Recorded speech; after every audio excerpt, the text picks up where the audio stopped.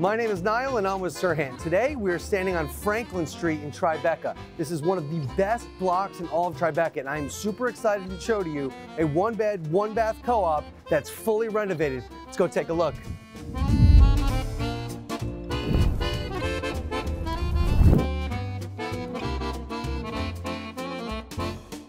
The first thing that you'll notice upon entering 184 Franklin, apartment number six, is a medley of different colors and shapes. We have exposed brick throughout.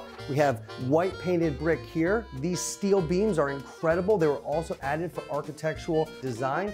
And we have exposed brick all the way at the back. Previously, this was covered with drywall. Moving along to the renovated kitchen, we have poured concrete right here, Miele appliances, and a fully integrated Liebherr fridge.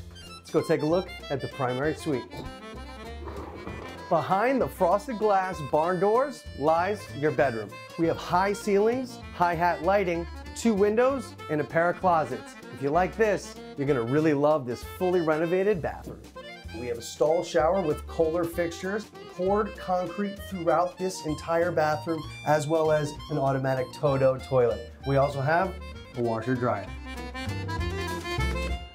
And that is 184 Franklin, apartment number six. My name is Nile Lundgren with the Lundgren team of Serhant. Thanks for watching and hope to see you here soon.